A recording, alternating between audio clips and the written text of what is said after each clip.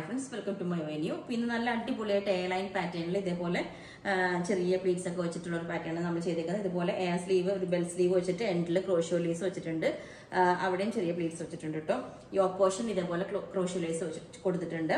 ഇതുണ്ട് ഈ ഫാബ്രിക് തന്നെ ചെറിയൊരു വീവിങ് വന്നിട്ട് ഒരു ലൈൻസ് വന്നിരിക്കുന്നതാണ്. നല്ല സോഫ്റ്റും കംഫർട്ടബിളും ആണ് വെയർ ചെയ്യാനായിട്ട് എയർ ലൈൻ പാറ്റേൺ ചെയ്തേക്കുന്നത് സെക്കൻഡ് വന്നിട്ട് ഇതുപോലെ ഒരു വെറൈറ്റി ആയിട്ട് ഓർഗൻസ ഫാബ്രിക്കിലാണ് ചെയ്തേക്കുന്നത് ഇതൊരു ഗ്ലാസ് ഓർഗൻസയാണ് കണ്ടോ? ഫീൽ ചെയ്ത് കണ്ടാൽ അറിയാം ഇതുപോലെ അതിൽ ചെസ് പോർഷനിൽ ഇതേപോലെ സോഫ്റ്റ് ബോൾസ് വെച്ചിട്ടുണ്ട്. എന്നിട്ട് യോക്ക് ചെറുതായിട്ടൊന്ന് സെപ്പറേറ്റ് ചെയ്തിട്ടുണ്ട്. ഒരു ബോർഡർ ആയിട്ട് കൊടുത്ത് ഒരു പഫ് സ്ലീവ് വെച്ച് ബാക്ക് സൈഡ് ഇങ്ങനെ ഉണ്ടാവും. ചെറിയൊരു എൽബോ വരയ്ക്കും സ്ലീവ് പിന്നെ ഇതിന്റെ നമ്മൾ സ്പെഷ്യലായിട്ട് നമ്മൾ ഇങ്ങനത്തെ പാറ്റേൺസ് ചെയ്തിട്ടില്ല. എൻഡിലോട്ട് ചെറിയ ഗ്യാദേഴ്സ് കൊടുത്തിട്ടുണ്ട്. ഇത് വേറെ ഇമ്മയാണ് അതിന്റെ ഭംഗി വരുന്നത്. ബാക്ക് സൈഡ് പ്ലെയിൻ എയർലൈൻ ആണ്. അപ്പോൾ ഇത് ഞാൻ കാണിച്ചു തരാം യോക്ക് ഇതാ ഇങ്ങനെയാണ് സെപ്പറേറ്റ് ചെയ്തേക്കുന്നത് ചെറുതായിട്ട്.